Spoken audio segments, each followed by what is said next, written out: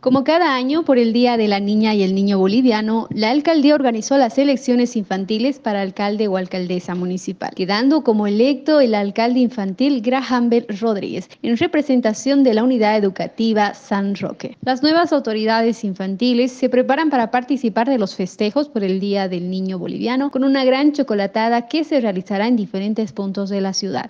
Citando a los niños en un lugar público para una chocolatada y su respectivo juguete.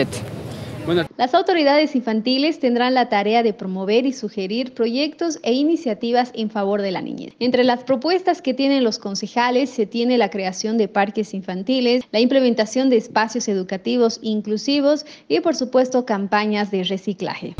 El proyecto que yo presenté fue que cada niño o niña tiene derechos y deberes que cumplir y como concejal voy a hacer, hacer conocer que todos los niños tienen derechos y deberes, como también eh, poco a poco eliminaré las bolsas plásticas del medio ambiente porque eso daña a nuestro medio ambiente. Eh, implemento de áreas verdes, más áreas verdes en lugares públicos, que se incentive al deporte, como creando campeonatos y dando dotes de material deportivo, que se adapten las vías públicas y lugares recreativos para niños con discapacidades y que se incentive el aprendizaje de un instrumento musical en las distintas unidades educativas? Eh, mire, yo, yo tuve muchos proyectos en el cual dije de que hagamos una nueva inclusión educativa para que los niños con discapacidades puedan también estudiar en centros pedagógicos especiales.